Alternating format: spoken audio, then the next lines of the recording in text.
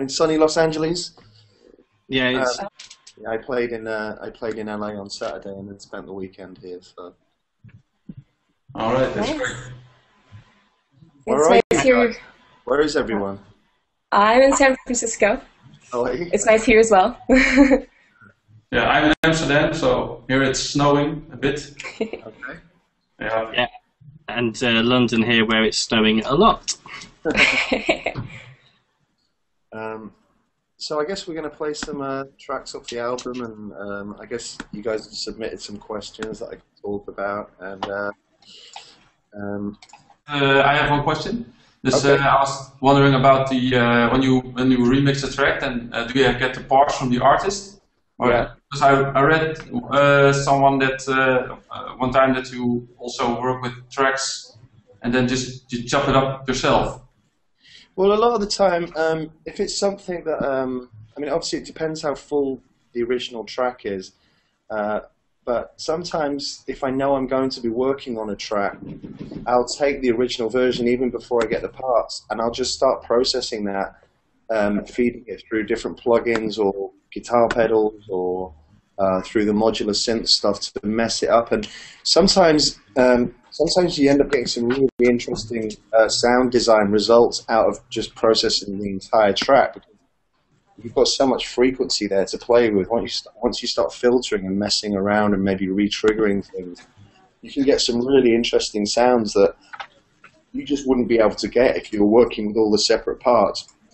We actually do that quite a lot when I'm uh, when I'm working when I'm working on a remix. I will um, we're always making stems, you know. So I'll put the bass and the strings and the vocal into one sample, and then treat that one sample as if it's uh, as if it's one thing. You know, whenever you whenever you get a load of sounds together, you know, where you, it's got all the frequency in it, a high range, mid range, and low frequency. When you start to kind of filter and mess around and re-trigger, you get some really lush results. That... Do you have any more questions? Uh, I think I'm up next, yeah. I mean, your sound has changed a lot over the years, but it's still very distinctly your own, and I mean, obviously it's still amazing. And I guess I was just wondering what's inspired the new album and how you describe how you've changed and what's influenced you. Um, I don't know. It's hard. I mean, obviously, I listen back to mixes from like the late '90s, and I'm playing at 130 BPM, and it's like, wow, what's wrong with this?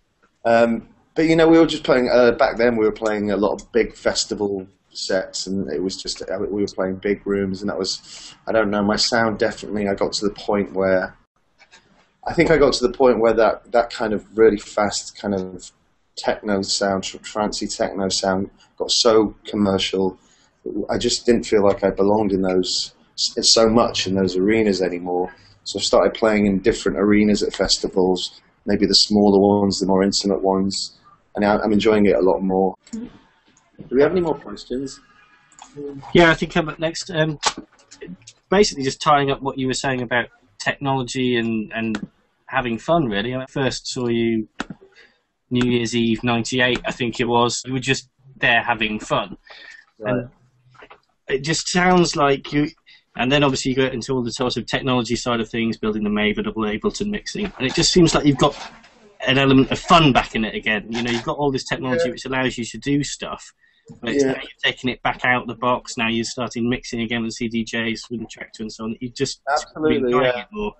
Yeah, I definitely got a bit bogged down with the whole Ableton thing, and um, yeah, my my uh, my rider, my uh, tech tech setup got really out of control, um, and it was really nice. I kind of, you know, I kind of turned my back on Ableton really as as a DJing format. It just they made it much. Every time they seemed to update it, they made it more and more harder for DJs to use it. Um, I mean, Traktor is basically a Ableton, but with a DJ interface on the front of it.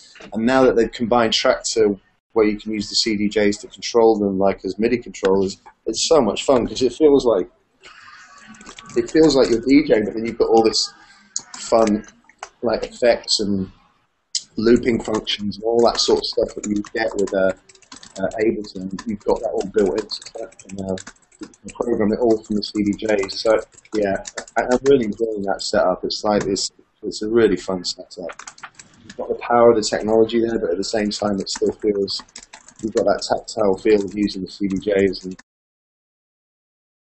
I don't actually have it on here.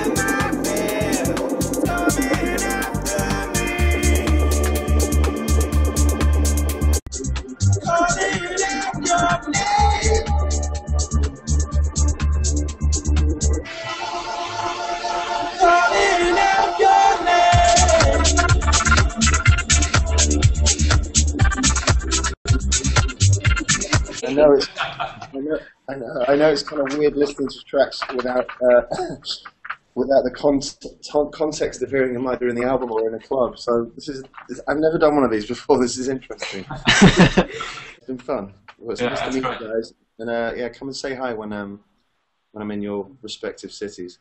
Yeah. I will. I will. Okay. All right. Thank you very much. Thanks a lot.